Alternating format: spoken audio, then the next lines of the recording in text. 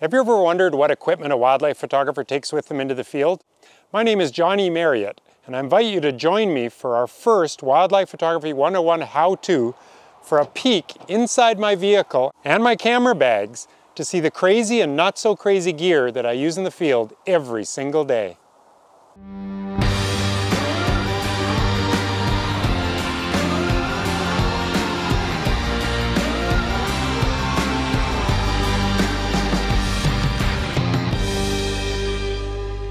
Let's start with my camera bags.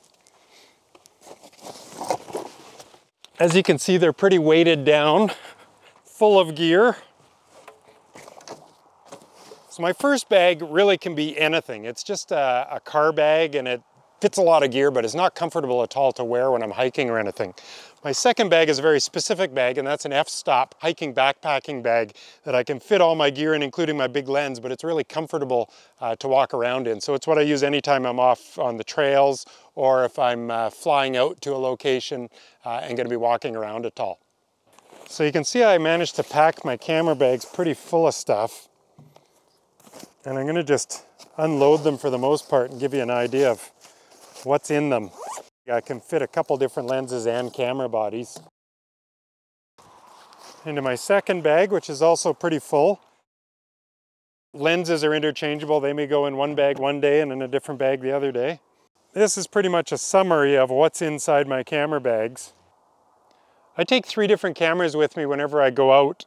I start off with my 1DX Mark II, which is sort of my flagship big pro camera, the most expensive one. It's excellent in low light and really good for action stuff, uh, great autofocus and so on. I've got my Canon 7D Mark II, which is a crop camera that allows me to uh, turn my 500, for instance, into an 800. So it just gives me more reach when I desperately need it. But it's not as great in terms of uh, the quality of the files. And then my other camera uh, is my Canon 5D Mark IV, um, which is probably provides the best files of all. It's the one I like using the most, but it's not quite as great, great for the fast action sequences as the 1DX Mark IV is. So when I go on any kind of a trip, I have to decide between two of the three, and it's almost always the 7D2 that gets left home. Between my lenses, I always take my 500 f4, that's my big telephoto, uh, use it all over the place. If there's no weight restrictions and if I think I'm gonna be in low light, then I go with my Sigma 120 to 300 f2.8. If there are weight restrictions or if I'm gonna be uh, hiking quite a bit, then I go to my Canon 100 to 400, which is not as great in low light, but it's fantastic for hiking around with because it's nice and light and provides a good zoom range. Or I'll take my 70 to 200 2.8, which is really excellent in low light, but doesn't provide a lot of reach. So there's kind of advantages and disadvantages to each of those lenses. And whenever I go on a trip and I have weight restrictions, I usually have to decide between two of them. It's usually the 500 and then one of these three, uh, depending where I'm headed to. Of the rest of my gear that's in the camera bags, uh, probably the most important for wildlife photography is my teleconverters. I've got a 1.4 times teleconverter and a 2 times teleconverter. The 1.4 turns my 500 into a 700. It adds 40% more reach. And the 2 times doubles the reach. The problem is it also halves the light. So if it's in low light conditions, I can't use these teleconverters nearly as much. I also have a whole series of filters and filter holders that I take with me, ranging from a warming polarizer uh, to neutral density filters to split neutral density filters and using this holder attach them to my various lenses and use them for both wildlife and landscape. Got a pair of very light medic gloves uh, that keep my hands dry when it's pouring rain out. Uh, a little waterproof crushable case for my cards, uh, so that'll float if need be. A lens cleaning cloth, a couple more rain covers, one for my pack and one for a lens if I'm in a bind and just need something quick. A couple of extra batteries for my camera bodies. A wide angle adapter so that I can stick this onto my gimbal head uh, when I'm on trips and turn this into a, a tripod that'll allow me to do wide angle landscape photography.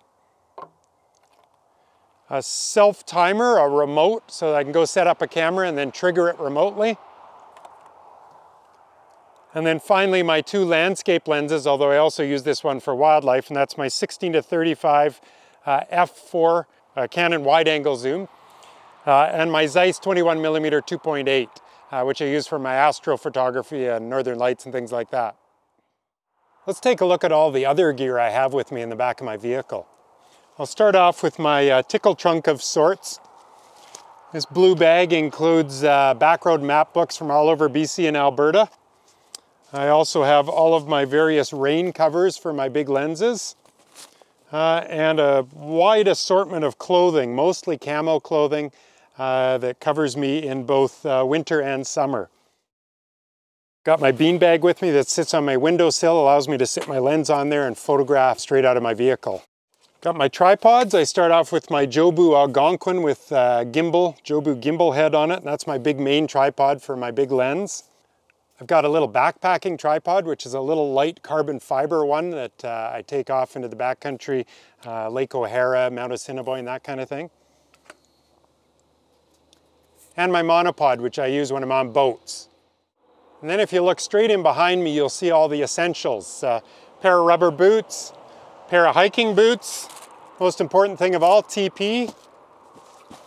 And then a couple of things that could save my life. Water, radio, uh, toucan gloves, my bear spray and knife belt, and my satellite device if I get uh, out of cell range and need to be able to reach someone like my wife.